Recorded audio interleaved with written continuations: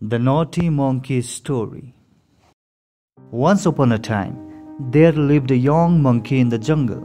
Its name is Jojo. Jojo is a naughty monkey.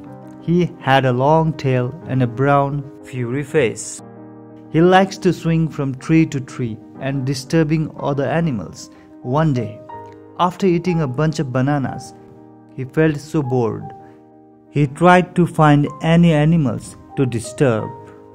Suddenly, he saw a small canary in its nest. Canary is a small bird. He went near it and pushed it out of the nest. The young canary were shocked and shouted for help. Help me, help me. I still don't know how to fly. Jojo laughed loudly.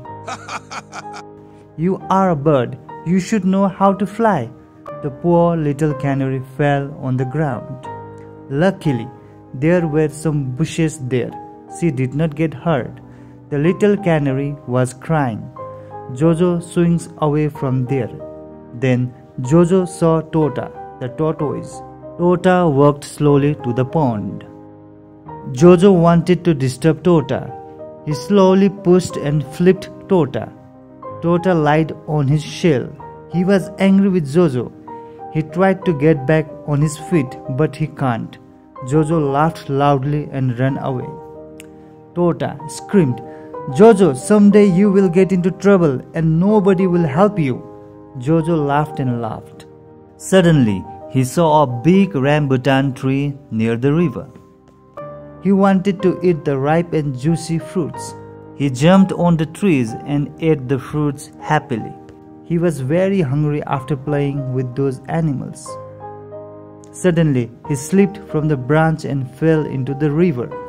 The water flows quickly. He shouted for help, but nobody wanted to help him. They wanted Jojo to learn his lesson. Jojo shouted, I'm sorry, friends. Next time I won't be naughty again. I promise, he cried loudly. The tortoise swam in the river and helped Jojo. Jojo get onto Tota's shell and Tota swam to the river banks. Jojo apologized to Tota and all the animals in the jungle for his misbehavior. He had learned his lesson.